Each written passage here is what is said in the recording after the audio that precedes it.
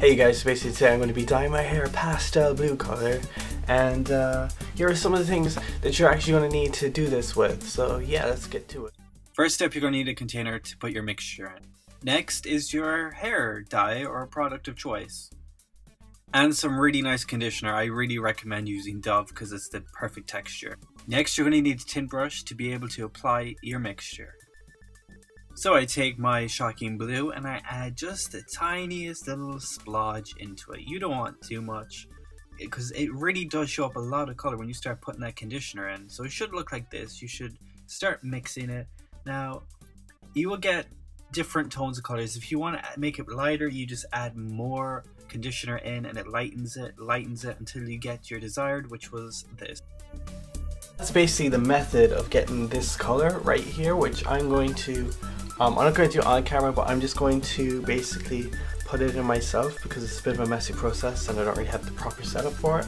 So I'm just going to put this in and once it's in I'll show you what it looks like. And uh, basically what I'm going to do is I'm just going to run it through my hair just to see what it comes out like and yeah I'll update you guys with a concoction that I made up with the conditioner and the Manic Panic Shocking Blues come up with this kind of cyan type color it's really nice and I also have enough left over to do a second run if I need to.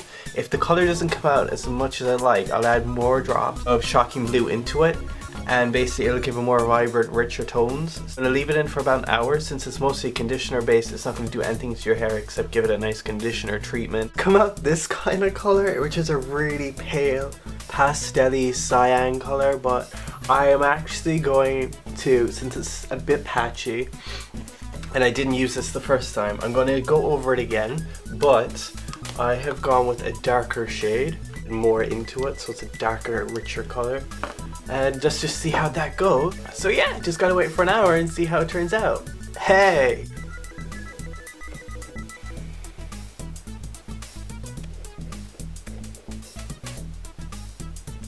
So this is basically the uh, color I've settled on for today. I've gone for this. It's really nice. I'm really happy with the color. I've never done an all over blue, so this is something totally different.